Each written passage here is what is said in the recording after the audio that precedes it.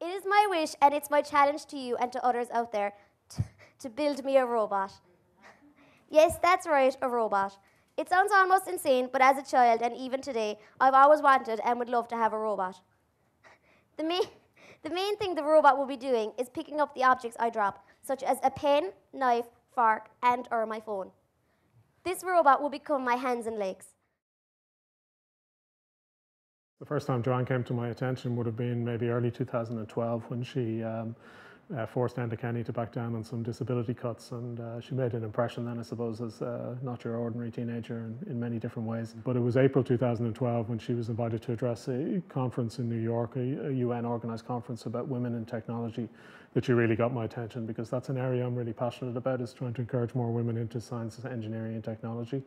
Uh, and during that uh, speech, which was a pretty impressive speech in itself, she issued a challenge to the world to build me a robot to be my extra limb to uh, help me in my day-to-day life. And I felt that was something we could do also. So at that stage, we uh, tried to get in touch with the family, and eventually that happened in November 2012 when uh, we met up with Stephen, who's Joanne's brother, and uh, we outlined some ideas there, and we agreed that we'd start to explore the possibilities of getting involved. So we first um, sat down and talked to Joanne in some detail in January uh, 2013. So we went down to uh, visit the family and spent a day down in Millstreet um, going through some ideas and talking to Joanne and getting her uh, feedback and vision of what she would like and uh, explaining some concepts that we had and getting her feedback on them. So the first stage in that was really getting detailed um, information from Joanne and figuring out exactly what was needed and what was required and coming up with a concept of uh, how we would uh, achieve that functionality. So um, that would have uh, been the initial stage of the project, but to go beyond that, uh, we were going to need some funding to actually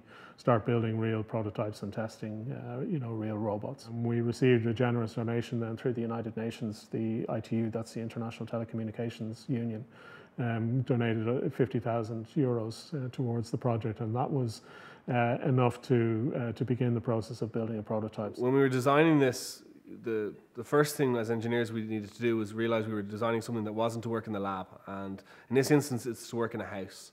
And I guess the, the kind of the primary consideration we needed to have here was that this needs to work with people and it needs to be able to navigate the kind of environments that you know Joanne navigates. And these are typically kind of hard floors and again you need to be able to move in and out of doorways and things like that so we couldn't make something that was too small it had to be um, you know have the ability to kind of interact with Joanne as well as be able to perform the kind of tasks. So the design we, we elected was, it's quite anthropomorphic in, in, in form, so it bears a pretty close resemblance to a human being. Um, you can see that it, you know, it has a head, it has a, a torso, um, it has two arms and it has two legs, and the, the, the, shape the legs take, again, is very similar to a person's where you might have a thigh uh, and a kind of a shin or a shank. We chose to use wheels, uh, and that was largely because it, it, makes sense from an engineering perspective, but also because Joanne is in a wheelchair. Uh, the kind of locations in the house and uh, even outside the house uh, that Joanne needs to go, uh, this robot will be able to go pretty efficiently with her.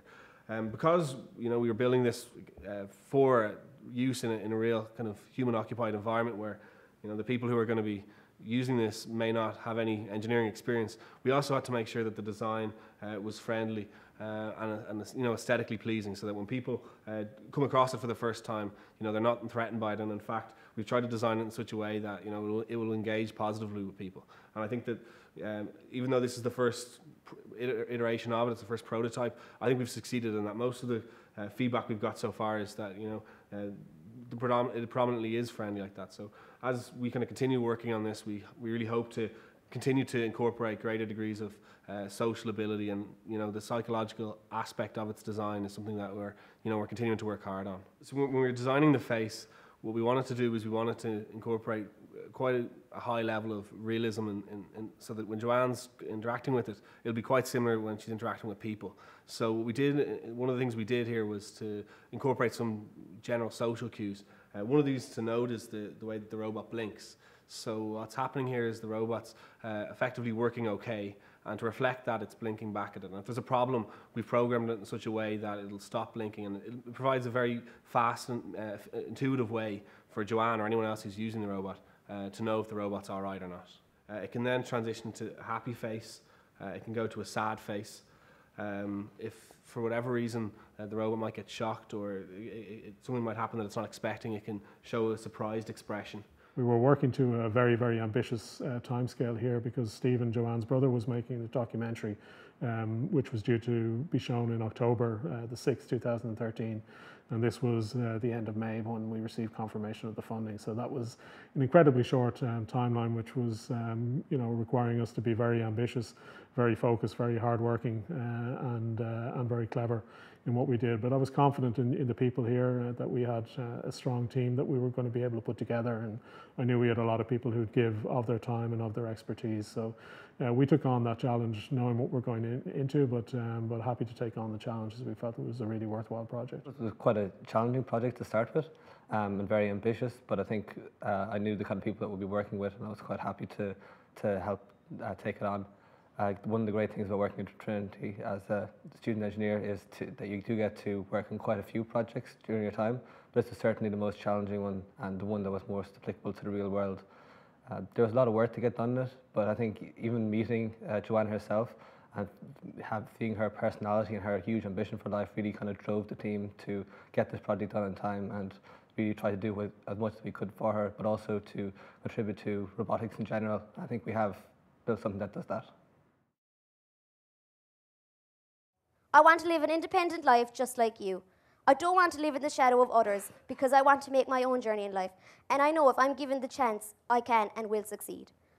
I know that there must be someone out there in the world who can do something like this to make life much easier. It would not just help me, but indeed others who are in similar situations. Life is about living, and let's face it, ladies, technology is not just a way of life, it's a way of living.